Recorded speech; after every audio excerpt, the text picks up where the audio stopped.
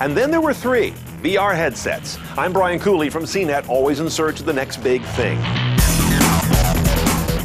We're on the cusp of the payoff of years of VR hype thanks to three head mounted displays Oculus Rift, HTC Vive, and Sony PlayStation VR. They've been coming forever, it seems. Now they're priced and locked for release, and on their shoulders, we will get a chance to en masse sample a completely new medium.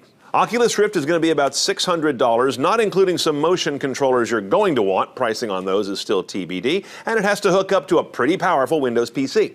HTC Vive also tethers to a personal computer. It might go beyond Windows to Mac and Linux as well. Price is higher at 799 US, but does include the motion tracking that would be optional with Oculus. And the inexpensive one, if you can call it that, is the Sony PlayStation VR at just $400 US, plus a PlayStation camera you probably have that goes with the PlayStation game console that you also need to power it. All three of these, as you can tell, are tethered by wires to these powerful bases of computers or game consoles. Now, once you get any of these rigs, almost certainly the reason you will do so and the first thing you'll do with it will be gaming. And I don't just mean gaming, I mean immersing yourself in gaming. You're in the game, you're moving through the game, you are using your hands and arms to pick up things and manipulate the environment of the game. Like I said earlier, this is not just an increase in the quality of video, it's a break to a new medium. Now, as important a market as gaming is, there's one that's even more delicious to consider, and that is VR for sports. That's the kind of content where the immersive nature of this technology makes total sense,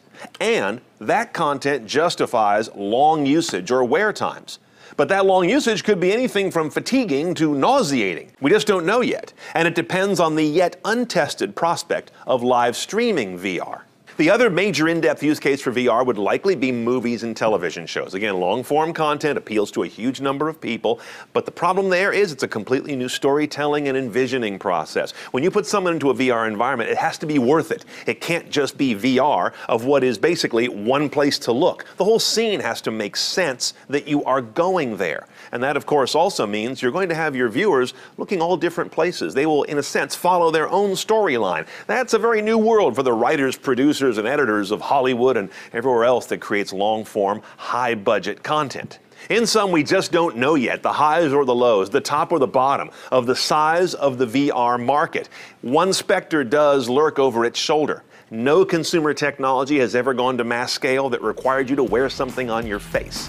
This will either be the latest one not to or the first one to.